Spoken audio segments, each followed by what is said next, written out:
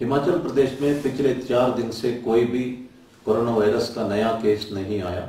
इस वक्त 10 मरीज़ अस्पताल में उपचाराधीन हैं और 25 मरीज़ जो है वो अस्पताल से डिस्चार्ज हो चुके हैं। ये एक अच्छी खबर है। मुझे उम्मीद है कि चार पाँच दिन में हम सिंगल डिजिट में पहुँच जाएँगे और सिचुएशन इम्प्रूव होते रहेगा। लेकिन हज़ारों लोग दूसरे राज्यों से हिमाचल के अंदर आए। उन सबको अपना घर में क्वारंटाइन में रहना होगा और सबको आरोग्य सेतु ऐप डाउनलोड करना अनिवार्य है। वैसे तमाम हिमाचली वासियों को ये अनिवार्य है कि आरोग्य सेतु ऐप डाउनलोड करें और डाउनलोड करते वक्त सही इंफॉर्मेशन इसमें डालें। जो भी बाहर स्टेट से हिमाचल के अंदर आना चाहते हैं, उन सबको आरोग्य सेतु ऐप मोबाइल में डाउनलोड करना, सही इंफॉर्मेशन देना आवश्यक है। अगर बाद में टेस्टिंग के दौरान कोई सिम्टम्स आ जाते हैं पॉजिटिव पाए जाते हैं।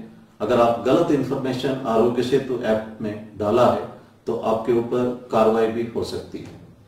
प्रधानमंत्री महोदय जी ने कहा है कि दो गज का सोशल डिस्टेंसिंग बनाए रखना ये कोरोना वायरस लंबे अरसे तक चलेगा, क्योंकि डब्ल्यूएचओ और एक्सपर्ट्स के ओपिनियन के मुताबिक ये जल्दी खत्म होने वाला नहीं है। इसलिए सोशल डिस्टेंसिंग हमारा आदत होना चाहिए। इसी तरह मास्क पहनना भी हमारा आदत होना चाहिए। मैंने अभी भी देखा है कुछ लोग जो है, मास्क नहीं पहनते या मास्क को सही ढंग से नहीं पहनते। हम कल से इन तमाम लोग जो मास्क नहीं पहनते या मास्क सही ढंग से नहीं पहनते, इनका आइडेंटिटी कार्ड हम कलेक्ट करके थाने में जमा करेंगे। और आप लोगों को जो भी वायलेट करते हैं, उनको थाने में जाके ये आइडेंटिटी कार्ड कलेक्ट करना होगा और उस वक्त हम एक आदर्श नागरिक बनने के बारे में उन सबको अच्छी तरह से समझा देंगे।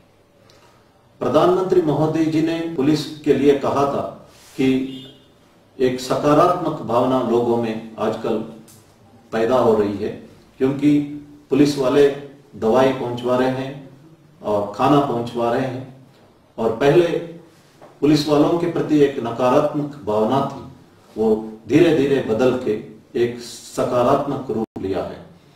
ये बहुत ही संतोषजनक बात है। प्रधानमंत्री जी का ये ऑब्जर्वेशन पर मैं उन्हें धन्यवाद करना चाहता हूँ। इससे पुलिस का मनोबल और बढ़ जाता है।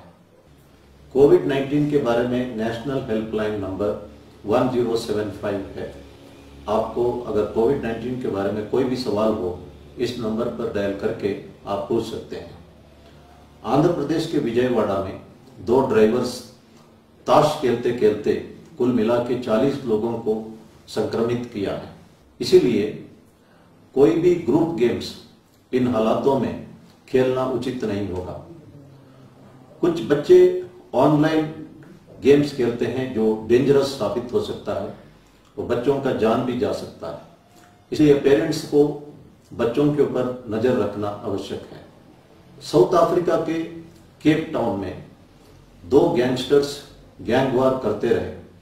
जैसे ही कोरोना वायरस स्प्रेड हुआ, ये दोनों गैंगस्टर्स ने डिसाइड किया कि इस वक्त हम लोगों को फ़ूड और मेडिसिन बांटेंगे और कोरोना वायरस खत्म होने के बाद आपस में लड़ने के बारे में सोचेंगे।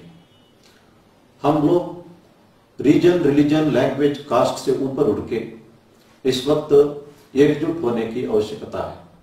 प्रधानमंत्री जी ने कहा है कि घर में सीनियर सिटीजन्स बुज़ुर्गों का विशेष ध्यान रखना है। उनका इम्यूनिटी के बारे में विशेष ध्यान देना है। उनका देखभाल करना है। Parents stand for pay rent we should pay rent to our parents for all that they have done to us उन्होंने हमें जन्म दिया एजुकेशन दिया, लिखवाया, पढ़वाया। उसके बदले में हमें सोचना है कि हमने क्या किया। पेरेंट्स ने हमें जो कुछ किया, उसका कभी हम असल नहीं चुका सकते हैं। ज़िंदगी भर हम सिर्फ़ ब्याज ही दे सकते हैं। उनको खुश रखना आवश्यक है। पेरेंट्स को सबसे ज़्यादा खुशी तब मिलती है जब बच्चे कामयाब हो जाते हैं। हम लोग भी जब ज़िंदगी में कुछ हासिल करते हैं, सबसे पहले हम पेरेंट्स को सूचित करते हैं। पेरेंट्स खुश हो जाते हैं तो हम अंदर अंदर पूर्ण रूप से खुश होते हैं। जिनकी माँ बाप नहीं है, वे सोचते हैं कि, काश माँ बाप ज़िंदा होते तो हम ये खुशखबरी उनको भी सुना देते। इसलिए हम इस अवसर पर अपने पेरेंट्स पर विशेष ध्यान देना चाहिए। ईश्वर चंद विद्यासागर 1820 से अठारह सौ इक्यानवे तक जिए थे। उन्होंने संस्कृत, लॉ और इंग्लिश की पढ़ाई की थी। बाद में वे विलियम्स कॉलेज, कलकत्ता में लेक्चरर बने। लेक्चरर बनने के उपरांत वे अपने गाँव गए वेस्ट मिदनापुर डिस्ट्रिक्ट में और अपनी माता से मिले। माता के पास सिर्फ़ दो तीन पुराने साड़ियाँ थी।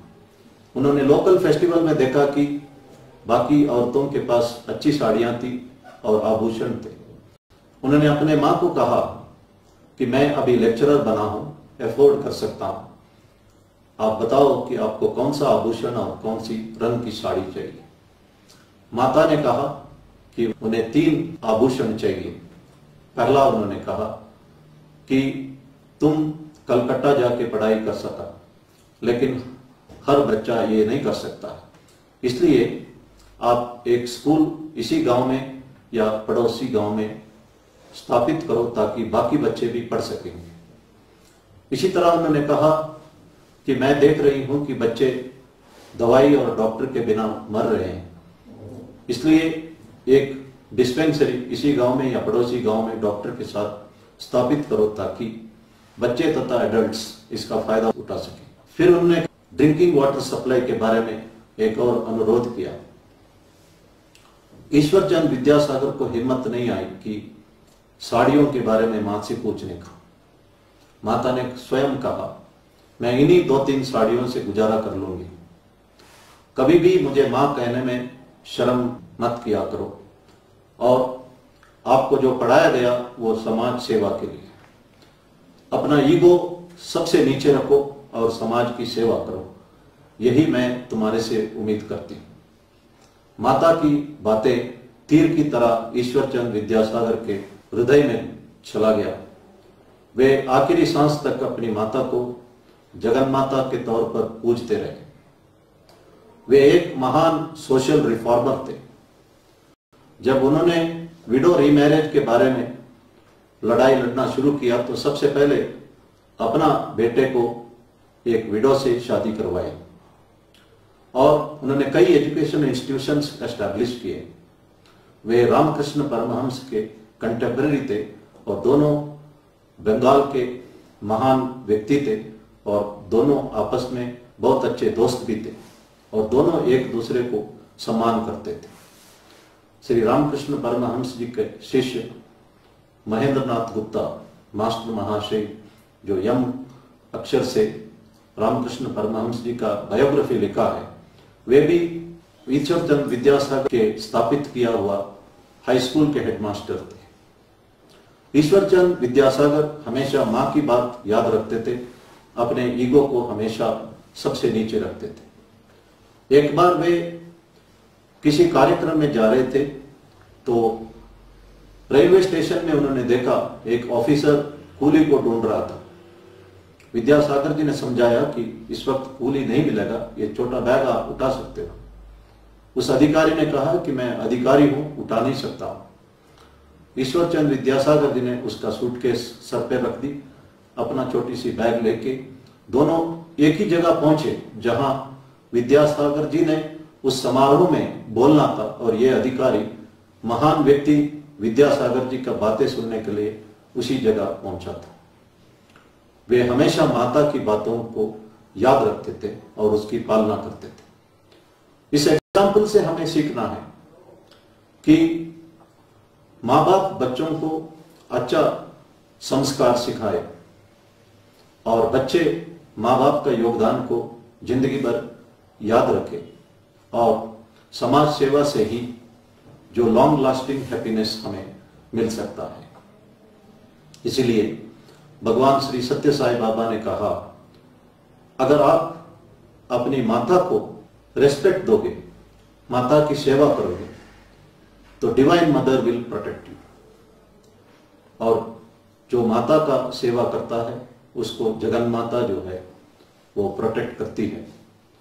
मैं ये बात दोबारा कहना चाहता हूँ। If you respect and serve your mother divine mother will protect you धन्यवाद। जय